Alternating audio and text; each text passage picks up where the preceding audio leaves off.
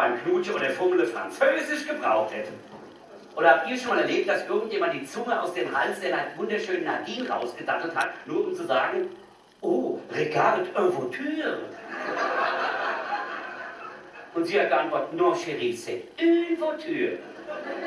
Im Leben nicht. Im Leben nicht. Aber viel gelernt im Schulaustausch. Dem hat viel gelernt im Schulaustausch. Man hat zum Beispiel gelernt, dass man sich von französischem Rotwein genauso die Kapseln wegsprengen kann wie mit deutschem Bier. Und das war total cool, ist Gitarrenmeister über Nummer zu rauchen. Also total uncool ist, selbst wenn du danach 24 Stunden mit flotte Otto auf so ein französisches Stinklung verbringen musst. Ja, ihr erinnert euch, meine ich, ja?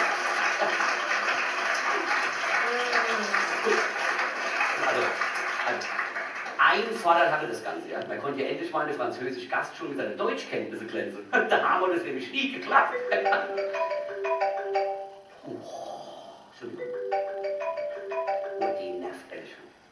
Ja, was ist, was willst du? Hör mal, ich bin auf der Bühne, ich habe eine Fernsehaufzeichnung.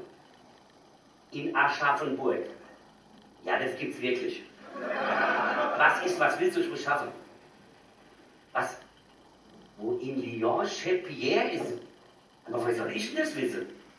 Ey, natürlich war ich auch mal in Lyon, einmal das 30 Jahre her. Da ist der Pierre noch mit der Trommel und dem Christbaum gelangt.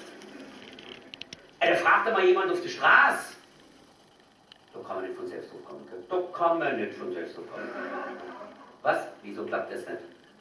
Ey, natürlich sprechen die kein Deutsch.